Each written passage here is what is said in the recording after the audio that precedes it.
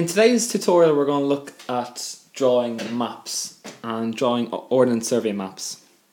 If you'd like some more of our videos, check out our website examrevision.ie. Subscribe to our YouTube channel at youtube.com forward slash examrevision and you can follow us on Twitter and Instagram at examrevision for you. So the first thing we're going to look at is um, a maps. Okay, so this is what a typical ordnance survey map will look like. And one of the questions that comes up every single year in the exam paper will be to draw a map or a photograph. So it's really, really important that you know how to draw um, a map or a photograph and what things should go on uh, your drawing when you draw an ordnance survey map. So this is the map area um, here, the ordnance survey map, and this is what your diagram should look like if you're asked to draw an ordnance survey map, okay, if you're asked to draw it. Now, if you drew something like this here, this looks very good, but you're not going to score um, many marks because you've missed out on some key information and some things that must go in every single uh, map that you draw. I'm going to show you that now. Okay, so the first thing a map should always have is a map should always have a title. It's really important that you always do a title. The second thing is that you always do a key. The third thing is that you put in the scale.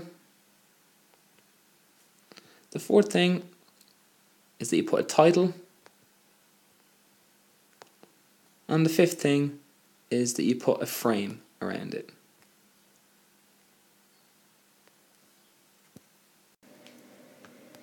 Okay, so what I've done here is I've looked at um, the five different things that we should have.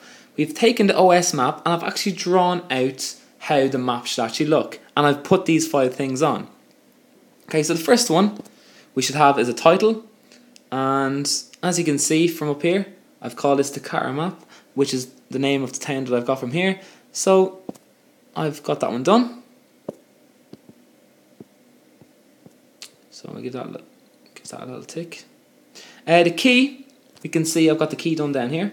So the key must represent everything that's done in here. So if you do something uh, like the river in blue, well then this must be represented down here. And you can see from here, that's the river there. So whatever colour you use uh, in your OS map, oh sorry, in your drawing of your OS map, you must have it represented down in the key.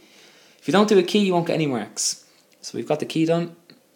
The scale, you can see I've got it done here. It said 1 is to 50,000.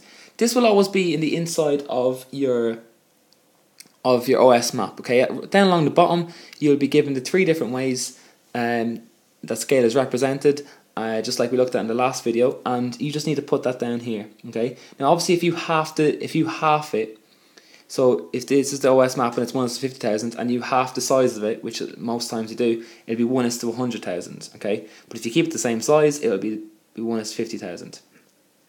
The next thing is I have down here the title, but it's actually the scale. I've made a mistake here, okay, so apologies.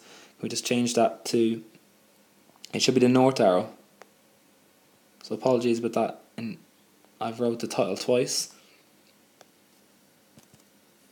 So the north arrow, okay.